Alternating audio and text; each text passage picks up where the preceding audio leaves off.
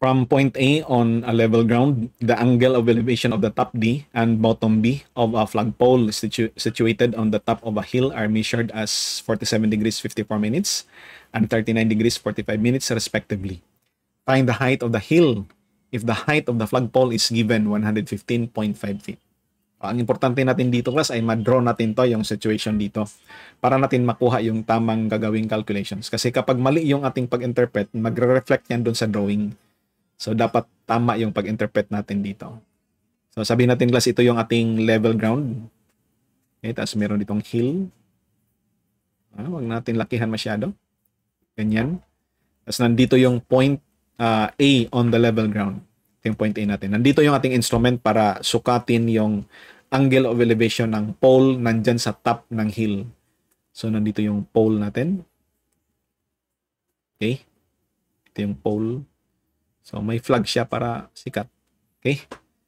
As in-observe daw to class, nakuha natin yung angles of elevation, the top of the pole and the bottom of the pole. So bali ganito no. Ito yung line of sight para sa top. Ito yung point D. Point dito yung point A. Tapos ito naman yung sa bottom. Okay? Kita natin dyan sa bottom. This is the point B. Ayos. Point B tayo. Yan. Tapos given daw ang height nito class. Ang height nito ay 115.5 feet. 115.5 feet.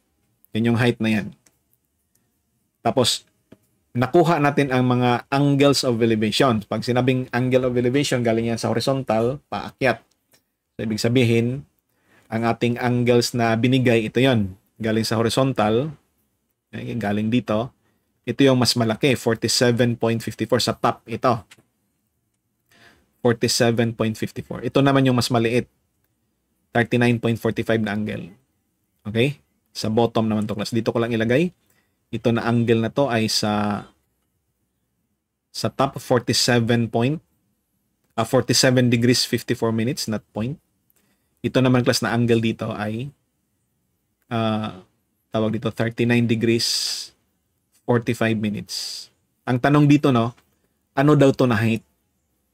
Itong height ang tinanong. Ibahin natin kulay class. Ito yung tinanong. Ibahin kulay. Hey. Ito ang tinanong date dito bebe. Ano ang height na to? Yan. Ano ang height na to class?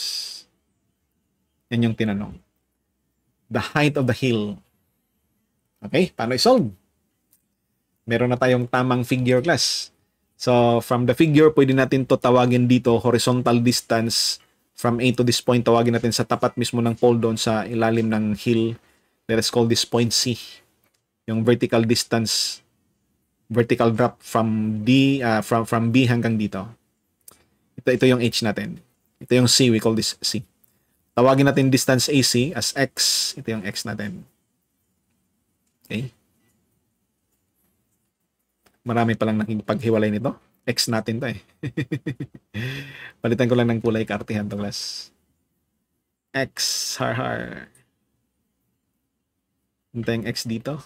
Laro, laro lang para masaya. Final pre-board natin to na problem. Yan. From, from the figure, anong gagawin natin? Tangent, no? Mare- ang, ang importante, ma-relate natin tong h at saka x. Tapos, i-eliminate natin yung, yung x. Itira natin yung uh, solution ng h. Kuha natin yung class. So, paano gagawin? Tangent of 39 degrees, 45 minutes, h over x. Very clear yan, no? Tangent of, anong gamitin kong kulay? Itong white. Tangent of uh, ah, 39 degrees, 45 minutes. Very clear sa ating figure, itong triangle na to is h all over x. So therefore, yung x natin ay h divided by tangent of 39, 45. Yun. Sunod, 39, 45. Sunod, how about tangent of 47, 54? Tingnan nyo. 37, 54 dito tayo. Tangent of 37 degrees 47, not 37. 47 degrees, 54 minutes is equal to, opposite. Opposite nitong angle na to buo ay itong dito C. Ilan to? Uh, H plus 115 115.5 feet all over adjacent. Ito yung adjacent niya, X. So therefore, ang X dito class from this triangle ACD, kanina ang triangle na to ay ACB lang, is Alpha Charlie Bravo. Ito ay Alpha Charlie Delta na portion. Ang x dito ay equal to h plus 115.5 all over tangent of tangent of 47 degrees 54 minutes. Yan. Natural para ma-eliminate yung x, i- equate natin silang dalawa ito na x at saka ito na x, pareho ang pinag-usapan natin AC. Equate natin class. x is equal to x. Uh, tapos ang kaso, h na lang matera. So we have this equation, h all over uh, tangent of 39 degrees 45 minutes. Dito class, useful masyado yung shift solve para hindi ka na mag-manipulate. h plus 115.5 all over tangent of 47 degrees 54 minutes. And this is the answer. Solve natin yung H. 349.28. 349.28. Baby. Tingnan natin class kung tama to ha. Ipakita natin sa calcio kung tama yung calculations natin.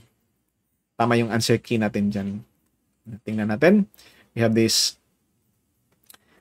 uh, alpha x. Eh, ito, gawin natin itong alpha x. Kasi wala nang h dito eh, sa calcio. All over tangent. Dapat naka-degree mode tayo, so okay naman. Tangent of uh, 39 degrees 45 minutes. Ayan yan. Parang degree lang yung symbol niya na inilabas pero minutes yung pangalawa. Alpha equals alpha equals uh, fraction alpha h or alpha x tayo plus 115.5 all over the tangent sa malaking angle. Sana yung tangent sa 47 degrees 54 minutes. Shift solve para masaya. Shift solve pinakasikat na function sa calcio. Tapos mag-approximate ka class, sabi natin 330. Kasi mga 300 plus dito eh. Or 300 na lang para sikat. Approximate ka 300. Para madali ma-process ng calcio. Boom! 349.2713. That is the answer. Okay? 28 sa atin dito.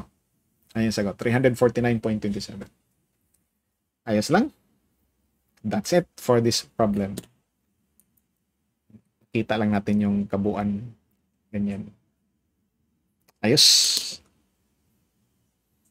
Stop recording.